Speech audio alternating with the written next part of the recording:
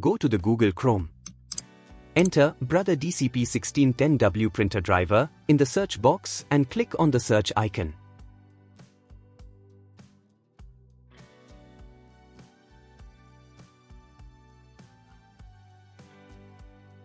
From the search results, click on the official Brother support website for that printer model. On the product page, click on Drivers and Downloads or a similar option.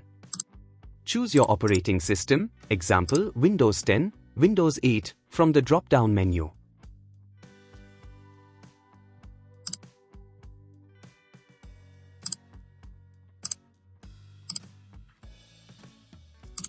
Choose the printer driver or full driver and software package option click on download and agree to the end user license agreement if prompted.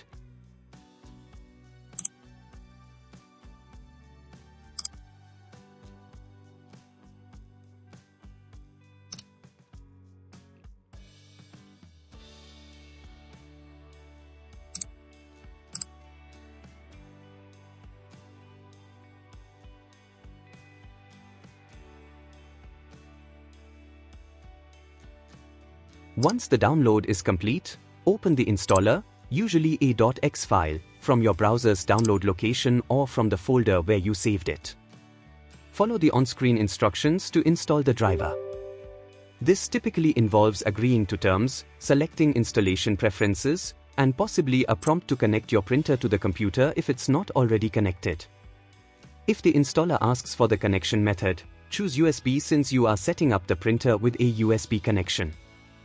If you haven't done so already, connect your Brother DCP1610W printer to your computer using a USB cable. Follow any additional on-screen instructions to complete the installation process.